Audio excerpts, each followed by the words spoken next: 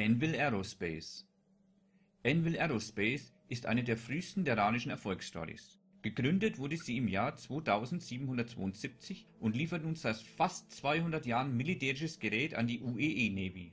Die ursprüngliche Anvil Skunk Works Anlage stand in Nova Kiev Terra und das Firmenhauptquartier ist immer noch dort. In den ersten 70 Jahren der Existenz von Anvil wurde jedes Designprojekt persönlich von dem Firmengründer J. Harris Arnold geführt.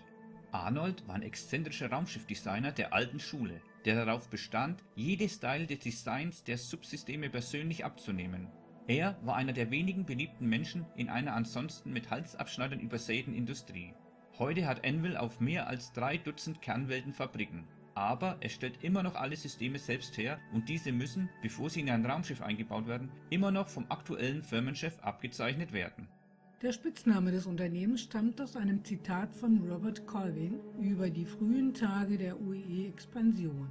Die Militärausgaben sind der Kraftstoff für die Öfen der Expansion und der Amboss für die Innovation.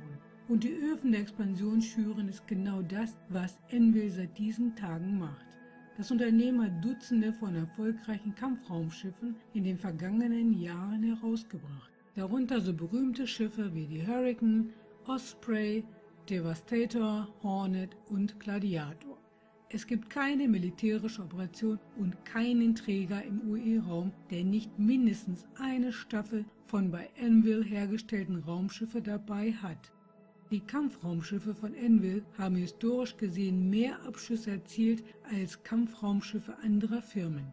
Insbesondere die Hornet hat mehr feindliche Hardware zerstört, gemessen am Wert in Credits, als alle anderen aktuellen Raumjäger zusammen.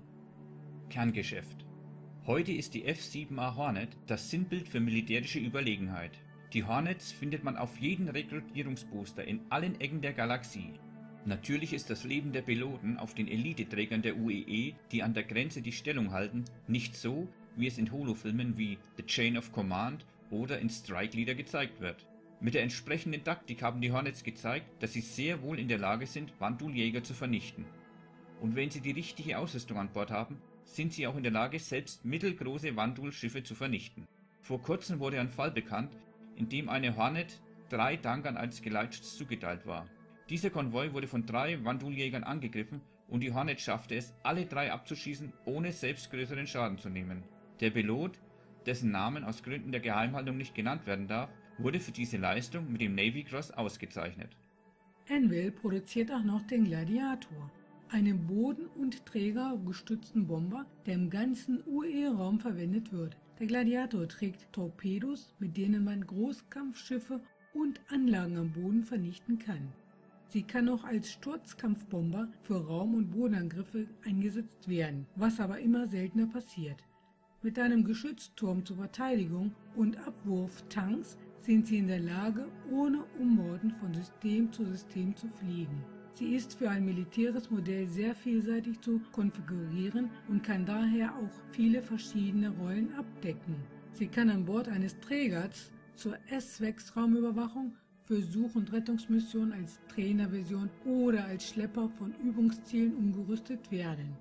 In einem Raumdock kann die Gladiator zu so ziemlich allem umgerüstet werden. Man kann zum Beispiel einen Sprungantrieb einbauen, der reduziert allerdings die Bombenzuladung oder einen Holozielemitter für Übungseinsätze. Die Gladiator ist genau wie die Hornet eines der meisten benutzten Werkzeuge der UEE Navy.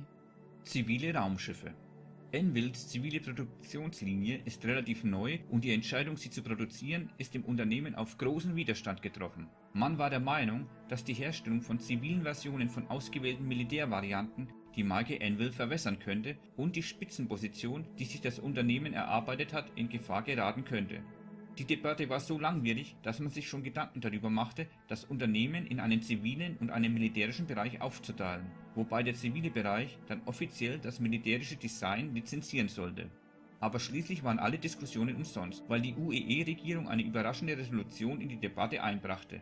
Sie favorisierte das Konzept der Ausrüstung von Zivilisten mit militärischen Versionen, vor allem in den weit entfernten Grenzsystemen.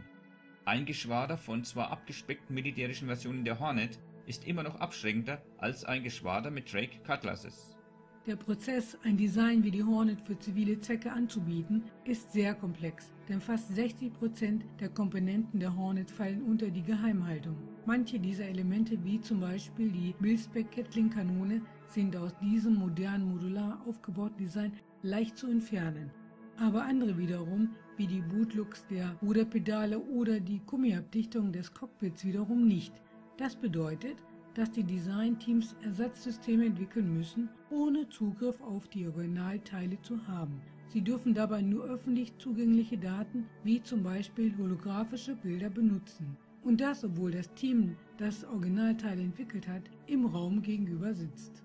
Auch wenn das Schaffen einer zivilen Version eines Top-Kampfraumschiffes ein sehr frustrierender Prozess ist, hat es sich für Anvil als sehr profitabel erwiesen. Die Gewinne des Unternehmens stiegen um 34 Prozent, nachdem sie die ersten zivilen Versionen der Hornet, die F-7C, ausgeliefert hatten, und es gab auch keine negativen Einflüsse auf den Ruf des Unternehmens. Das Gegenteil war eher der Fall. Die Idee, ein eigenes Militärkampfschiff zu haben, führte sehr schnell dazu, dass die zivile Version der Hornet zu einer Art Statussymbol wurde.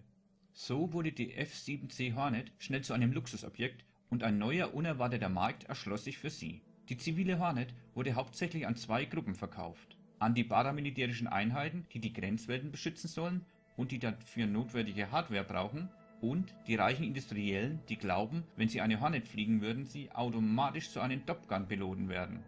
Die Zukunft.